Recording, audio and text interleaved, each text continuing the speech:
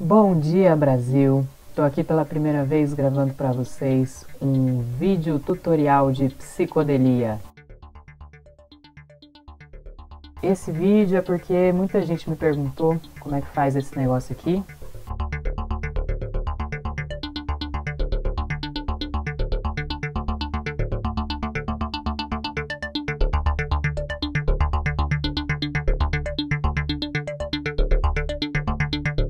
O segredo é fazer uma animação transicionando a imagem do seu estado original para um estado totalmente psicodélico e aplicar um efeitozinho de ondulação. Mas claro, como, é que é esse negócio? O que, que, é isso? Esse monte de bichos, cachorro e olho que fica aparecendo, essas coisas aí na imagem. É? Isso aí é um bagulho que chama sonho profundo, vulgo Deep Dream. Basicamente, uma máquina geradora de psicodelia. É a mente subconsciente da internet são as redes neurais.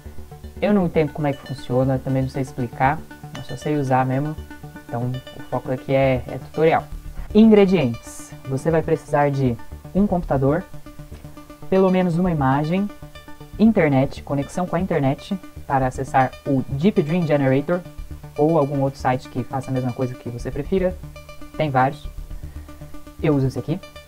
Um editor de vídeo da sua escolha e também necessariamente também vão precisar de um editor que seja ou Premiere ou After Effects.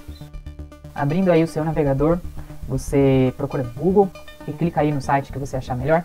Eu uso sempre esse aqui, que é o Deep Dream Generator, que ele é bem completo, tem várias opções, mas ele é bem limitado quantas imagens você pode fazer. Então você tem que ir com cuidado e devagar, tem um limite de quantas você pode fazer a cada 24 horas. Entrando no Deep Dream, você vai ter que criar uma conta, e tendo criado sua conta, você vai na opção Generate.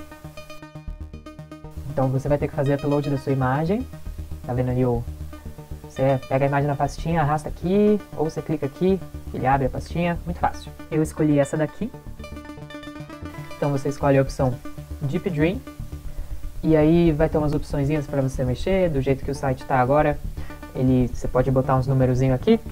Se você clicar nessa, nesse negócio aqui, ele te leva para uma lista que mostra o que cada númerozinho é. Ou você pode só, só ir na fé, na cara, na coragem.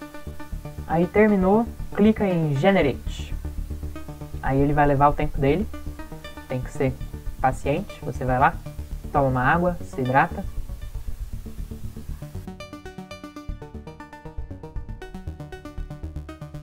Agora sua imagem já foi tomada pelos espíritos.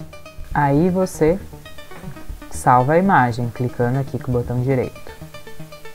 Então, fizemos a primeira, mas para fazer aquela animação bem legal, tem que ter mais. Então você vai aqui e clica nesse Go Deeper. O que, que isso faz? Isso faz ele passar pelo processo de novo, ou seja, dá uma refritada. Agora, atenção, porque na hora que você vai no Go Deeper, passa de novo por aquelas opçõezinhas, ele automaticamente já seleciona a opção de Zoom In, ou seja, de dar um zoom, né? E a gente não quer isso, então você vai e tira. A ideia é você produzir entre 6 e 12 imagens dessas que tá bom.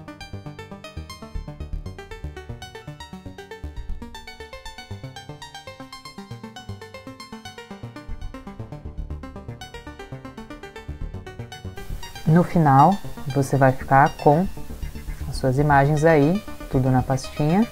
Não esqueça de incluir a original também.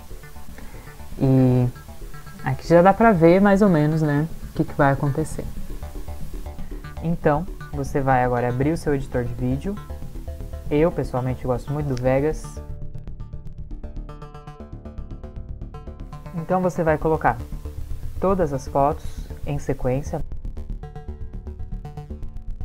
e vai fazer a fusão.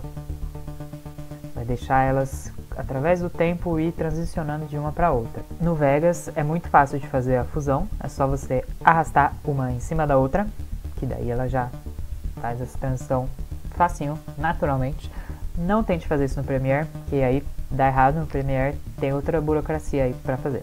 Aí você ajusta o tempo da coisa conforme os seus objetivos e aí renderiza, sem áudio, só, só os bagulho aí mesmo.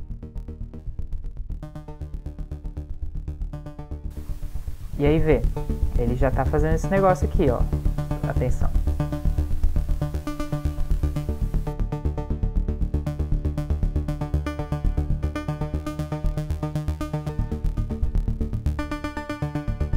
Agora a gente vai para a parte final de fazer o negócio acontecer mesmo, que é o efeito de distorção. Esse efeito ele tem no Premiere e no After Effects. Inicia um projeto no After ou no Premiere Coloca esse vídeo que você acabou de renderizar.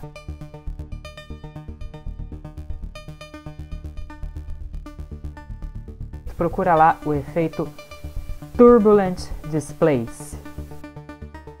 E aí os parâmetros aqui que você pode mexer, né? Esse amount, quantidade, e size, que é tamanho, mas o mais importante é esse aqui. Esse tem que estar tá animado, ou seja, tem que ter um keyframe no começo num valor e um keyframe no final com um valor bem diferente. Então vamos lá, clica no reloginho para ativar a animação, aperta o, a tecla U para aparecer os keyframes na linha do tempo. No primeiro keyframe você coloca um valor baixo, tipo 1 mesmo, e no último você coloca o valor 8. Quando você for fazer, aí você vai experimentar bastante com os parâmetros, com os valores, né? Mas esse aqui é só um exemplo.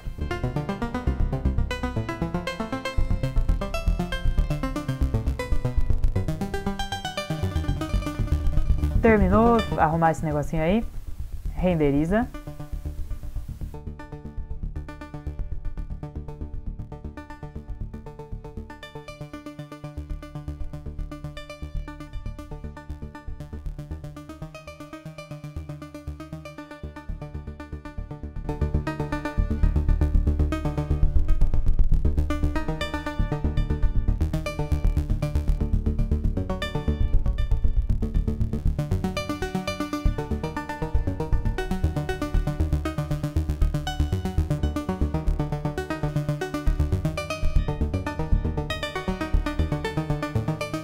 Pronto, ó, bota lá na edição, coloca o som bem legal, manda pros amigos, posta na, na internet, toma um LSD e assiste.